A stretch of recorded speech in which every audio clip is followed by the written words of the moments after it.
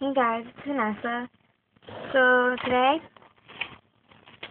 I am going to be doing um a review real quick on a recipe that I have from some squishy clay recipe from I think a cuppy picky girl something 24. Okay, and I made some purple and green squishy buns. This is my recently one I made starting to dry. Um, this is my first one I made. It's really not that squishy at all. So I'm going to try. Oh, now it's squishing. But it's hacked.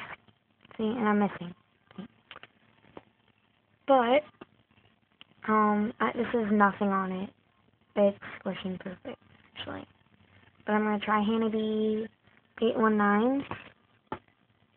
But, um, one of them, like, turned out like this, because I was told that as much as you squish it, this won't happen, but it did.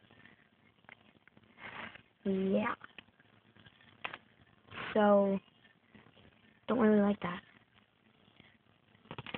Okay other than that, if you guys buy or sell for, or buy or trade for me, um, you'll get a cute little, because I got new stationery. I'm just cupcake thing that I got. It's my cute little stationery. I love it. So yeah, I'll write you guys a little note on here. So yeah, don't you love my squishy?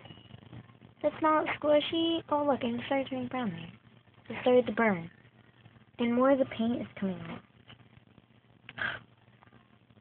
Whatever, well, there's my squishy. See how it's cracking?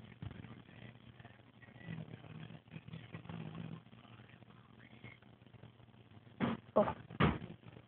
Alright, well, bye.